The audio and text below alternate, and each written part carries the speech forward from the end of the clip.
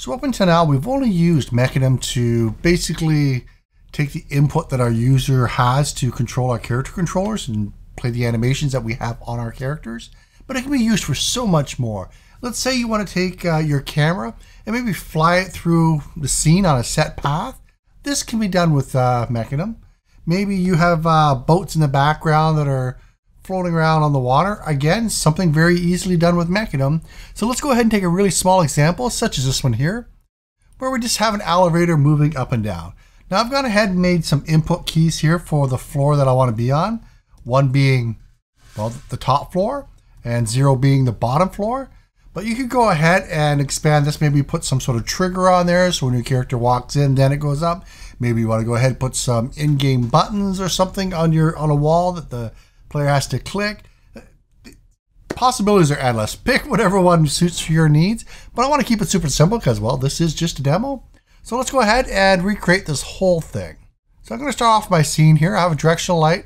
Floor one is just the bottom floor. Floor two is the top floor. They're just cubes that are reshaped according to the scale. Uh, we have the elevator, again, just another cube that's been rescaled. I've gone ahead and just thrown a cube on it and attached uh, a main camera as well, just so it follows it up and down. And I wanted to point out that a lot of times when you have a character control moving across something that has animation, it gets really jittery. Uh, sometimes you'll even fall through. Uh, if you're going to be doing this through a trigger or something like that, when you move onto it, before you start moving that game object, you will want to make it a child object of whatever it is that object's moving around. And then when they leave that object, go ahead and just unparent it. Uh, but let's go ahead and actually take a look to see how we did this. So I'm going to shrink it down. I'm going to go ahead, get rid of the animator. You know what? Let's just go ahead, um, let's just get rid of everything. So to start with, I'm going to go ahead, grab the animator, or sorry, the object I want to animate in the scene, which in this case is the elevator. And I'm going to open up my animations tab. Now keep in mind, this is not the animator window, that's Mecanim. This is the animations tab, which you can get to through, I never remember these. Uh, looks like uh, Command 6 or Control 6. Anyway, with it selected, I'm going to go ahead and click this Create button here. And it's going to ask me where I want to save this new animation. I'm going to go ahead and not put it in the completed folder. That's the one we just looked at. I'll make new ones here. And I'm going to start off with uh, an idle animation. I almost always start off with an idle animation. And let's take a look here for a few things that happened. Uh, I went ahead and it made a controller for me. It went ahead and it made that idle animation. It assigned uh, the controller to the new animator component, which it added to the elevator element for me. And uh, that's it. It actually shows the clip count, so we know that we have at least one clip. And if we open up Mecanim, we see that it's actually loaded up here as well and automatically assigned the first animation that we're making idle as the default. So it does a ton of stuff in the background for you. I just wanted to point that out. I'm probably missing one or two things, which we'll, well, we'll discover as we go along. All right, so let's go ahead. We're to come down to the animation window. Uh, this clicked. Uh, earlier we've seen some red marks. Uh, that's because uh, we're in record mode. Uh, right now we're not because we don't have any properties select. So let's go ahead and take a look at some of these things. What can we animate? Well, if we have something selected and we want to start animating, here are all the different things we can animate. If you open them up, there are the properties we can animate of each component. For this here, I just want it to move up and down. So I'm going to go ahead and animate the transform position.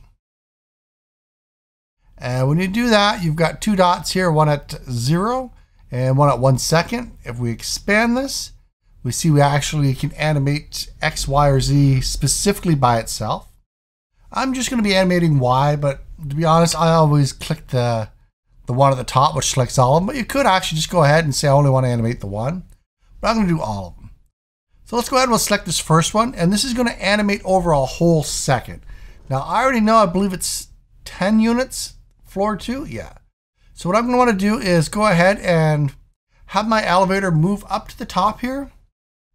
And I'm just going to keep it at one second. I could shrink the timeline in using the scroll wheel and move it to uh, a time that would be more suitable for my animation.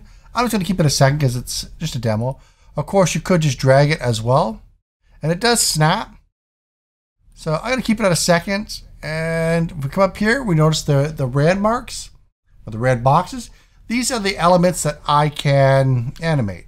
So if we look at the first one, uh, 0, 0, then negative 5.5. And that's because my elevator isn't dead center of the screen. It's off to the side a bit.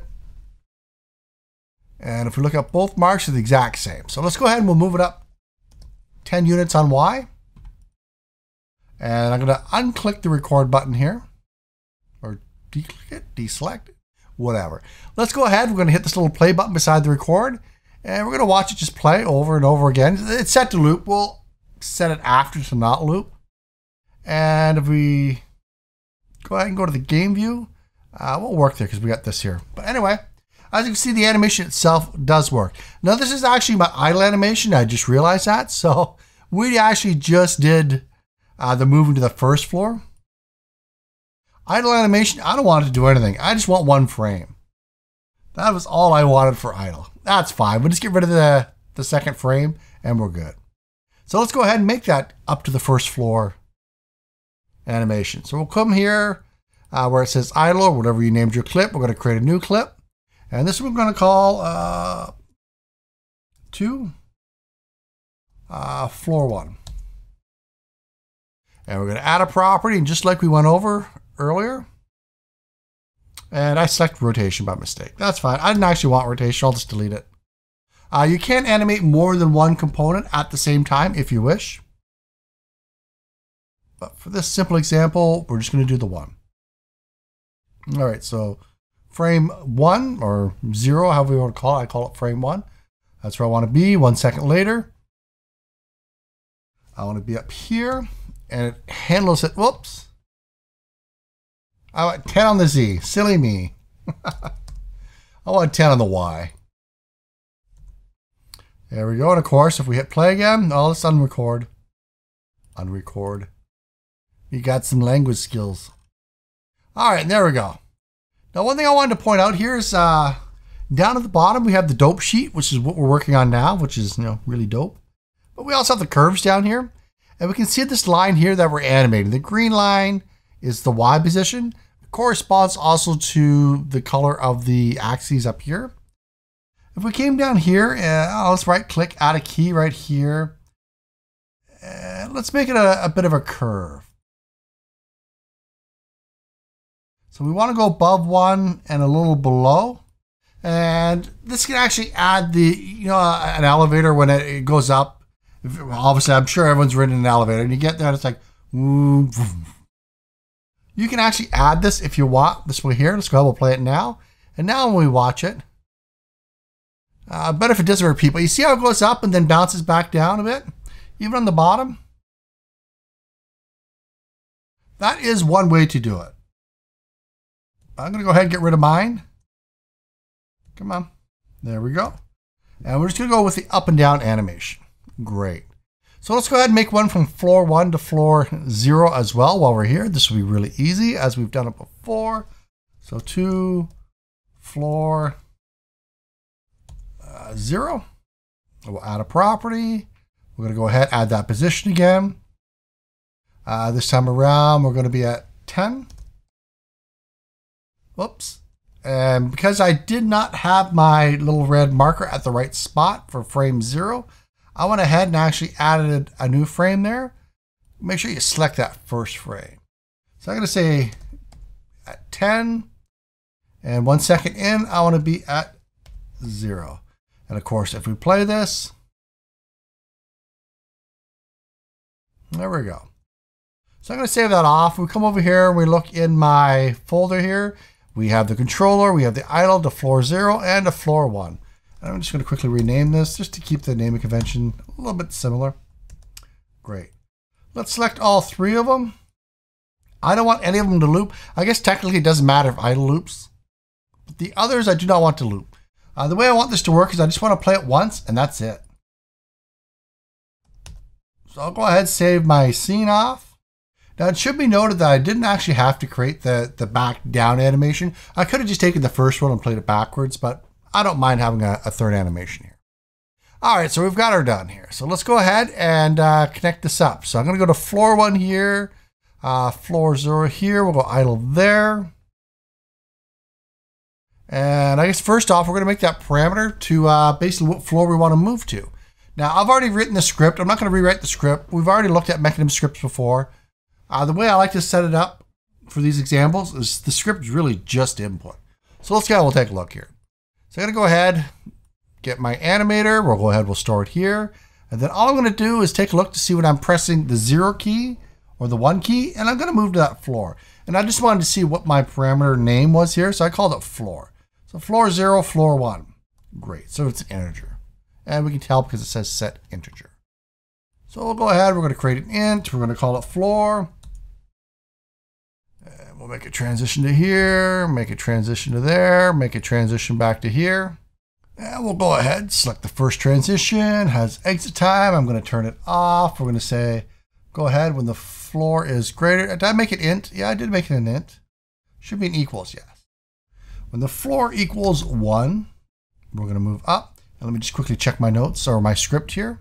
So yes, when we hit the one key, uh, floor is equal to one. When we hit zero, floor is equal to zero. So that's done. We'll go ahead. We'll click here.